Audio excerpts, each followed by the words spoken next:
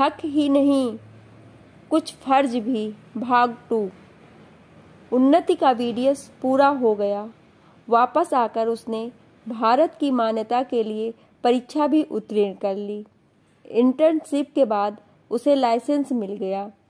माँ बाप का सीना गर्व से चौड़ा हो गया। उन्नति ने एक पीजी डेंटिस्ट रवि को जीवन साथी के रूप में पसंद कर लिया।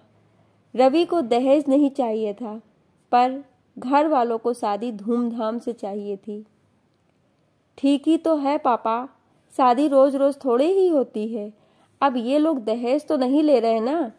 उन्नति, मम्मी पापा को दलील के साथ राज़ी करने की कोशिश में थी। हाँ हाँ हो जाएगा, तू चिंता मत कर, सुकांत ने उसे तसल्ली देते हुए कहा। जैसे जैसे सुकांत और निधि ने बड़ी बेटी को फाइव स्टार होटल से विदा किया। मम्मी पापा, मुझे पढ़ने का शौक था, सो पढ़ लिया। प्रैक्टिस वगैरह मेरे बस की नहीं। मुझे तो बस घूमना, फिरना और मस्ती करना है। लोन का आप देख लेना। मेरे पास वहाँ बैंक का कोई लेटर वेटर नहीं जाना चाहिए, वरना बड़ा बुरा फील होगा ससुराल में। रवि को मैंने लोन के बारे में कुछ नहीं बताया है। उन्नति ने जाते जाते दो टूक अपना मंतव्य बता डाला। रवि को मालूम है तू काम नहीं करेगी? सुरम को जब मालूम हुआ तो उसने हैरानगी से पूछा। इस पर उन्नति बोली, और क्या? कह रहे थे कुछ करने की ज़रूरत नहीं है। बस रानी बनकर रहना, पलकों पर बैठा कर रखेंगे, तू देखना। और वह हंस दी। दीदी, तुम्हें मालूम है ना कि मम्मी पापा अब रिटायर हो चुके हैं। हम लोगों के चक्कर में बेचारे मकान तक नहीं बनवा सके। बैंक से स्टूडेंट लोन तो है ही है। प्राइवेट लोन अलग से। विदेश की पढ़ाई, उन्हें कितनी महँगी पड़, पड़ी पता है? भाई, तू तो लड़का है। सीए बनते ही बढ़िया कंपनी में लग जाना है। तू ठहरा तेज दिमाग। फिर धड़ाधड़ पैसे कमाएगा तू। थोड़ा ओवर टाइम भी कर लेना हमारे लिए। मुझे तो गृहस्थी संभालने दे। लाइफ इंजॉय करनी है मुझे तो। वह अपने लंबे नाखूनों में लगी ताज़ा नेल पॉलिश सुखाने लगी। कमाल है दीदी। पहले विदेश की महँगी प्रोफेशनल पढ़ाई पर खर्च करवाया। फिर फाइव स्टार में शादी की। दहेज न देने पर भी इतना खर्च हुआ जिसकी कोई गिनती नहीं। अब काम नहीं करेगी तो तुम्हारा लोन कैसे अदा होगा? सोचा है? माना काव्या दीदी का और मेरा लोन तुम्हारी ज़िम्मेदारी नहीं, पर अपना लोन तो चुकता कर जो बैंक से तुमने अपने नाम लिया है। काम क्यों नहीं करोगी? फिर प्रोफेशनल पढ़ाई क्यों की? इतना पैसा क्यों बर्बाद करवाया, जब तुम्हें केवल हाउस वाइफ ही बनना था? तू तो करेगा ना भाई काम? तुम काम नहीं करोगी तो कुछ दिनों में ही प्यार हवा हो जाएगा रवि का। तमीज से बात कर, रवि तेरे जीजू हैं।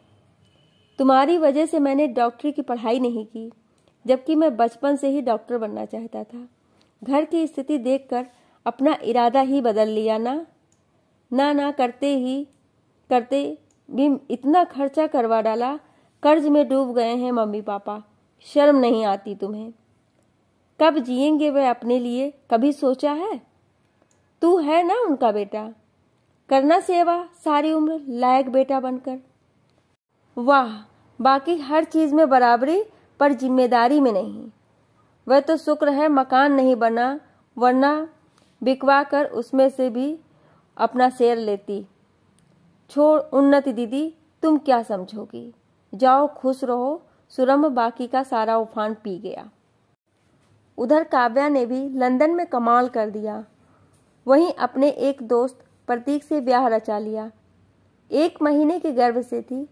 पढ़ाई अधूरी छोड़कर भारत लौट आई। ससुराल वालों ने उसे स्वीकारा नहीं। वह कट्टर रीति रिवाजों वाले दक्षिण भारतीय मूल के थे। बड़ी जद्दोजहद के बाद राज़ी हुए, पर घर में फिर भी नहीं रखा। लिहाजा प्रतीक और वह घर से अलग रहने पर मजबूर हो गए। दोनों में से किसी के अभी जॉब में न होने की वजह से सारा खर्च सुकांत और निधि के कंधों पर ही आ गया। काव्या ने तो पढ़ाई छोड़ ही दी थी पर प्रतीक ने अपना एमबीए पूरा कर लिया। बाद में उसे जॉब भी मिल गई। उधर उन्नति की ससुराल की असलियत सामने आने लगी। आए दिन सास तकाजा करती ताने देती बहू तुम्हारी हर महीने की इनकम कहाँ है? हमने रवि को तुमसे शादी की इजाज़त इसलिए दी थी कि दोनों मिलकर होता है क्या? घर परिवार का स्तर बढ़ाने में मदद करोगे। वैसे ही लंबा चौड़ा परिवार है हमारा। बहू, तुमसे न घर का काम संभाला जाता है, न बाहर का। देखती हूँ रवि भी कितने दिन तुम्हारी आरती उतारता है। भन्नाई हुई सास रेवती महीने बाद ही अपने असली रूप में आ गई थी। रवि जब अपने दोस्तों की प्रोफेशनल वर्किंग पत्नियों को देखता तो उन्नति को लेकर अपमानित सा महसूस करता। रोज रोज दोस्तों की महँगी पार्टियों से उसे हाथ खींचना पड़ता। उन्नति को न ढंग का कुछ पकाना आता था, न कुछ सलीके से करने सीखने में ही दिलचस्पी लेती। सजने संवरने में वक्त बर्बाद करती। फिर वही हुआ जो सुरम ने कहा था।